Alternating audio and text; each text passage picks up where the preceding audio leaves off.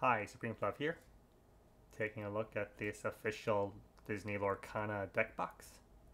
It's advertised to hold 80 cards. So this is what it looks like, packaging wise. And there's three options, this one being Mickey, but there's also Captain Hook and Elsa.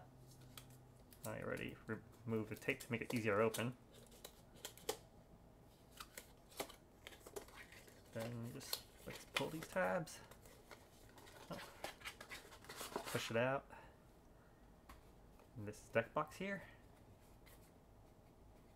It's got Mickey on both sides and the logo at the top.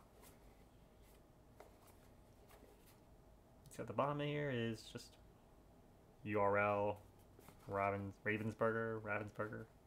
Let's see to open a deck box, you just pull it up here. And it's just like that. So it's very similar to Ultra Pro. I don't think these are Ultra Pro boxes. I think it would have said Ultra Pro. So just like that. And it just uses like friction to keep closed. So uh, no Velcro or anything, which is nice, I guess. Doesn't come with anything else, just the box itself. I think the Ultra Pro boxes that I've gotten for Pokemon include a, a card divider. But I think this is advertised to hold only 80 cards, so it's probably smaller than the Pokemon ones. Just to compare, this is a Pokemon deck box from Ultra Pro. They are actually about the same size. Lorcana one is just a bit smaller. Seems. And they're both the same height, I think. But with the uh, Pokemon one, it's full. The covers covers the full front of the box, I guess while the Lorcana one is only half of it. But it does some of the same design, which there is a space here so you can lift your deck with both fingers. Right now my Mickey and Moana Star deck is in this Pokemon cardboard box for the uh, booster bundle, I think. So this is a 60 card deck. So let's see how it goes into the Lorcana deck box. Just fit in like there. Need to align it a bit. To the opening. There we go.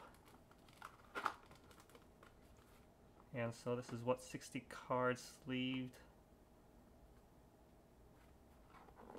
in the Mickey Mouse deck box looks like.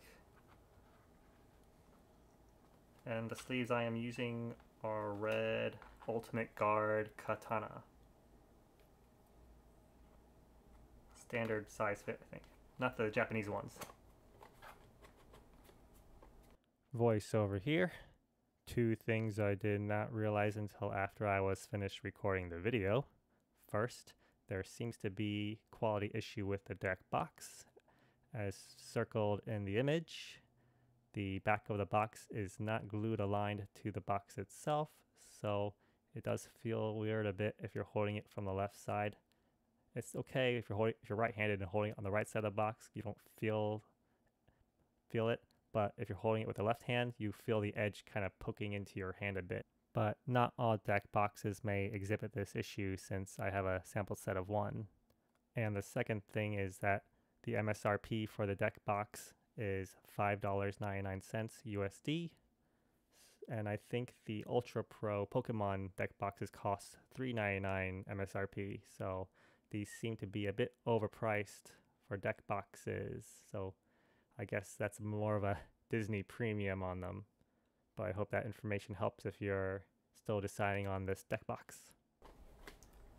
So this was a look at the Disney Lorcana deck box.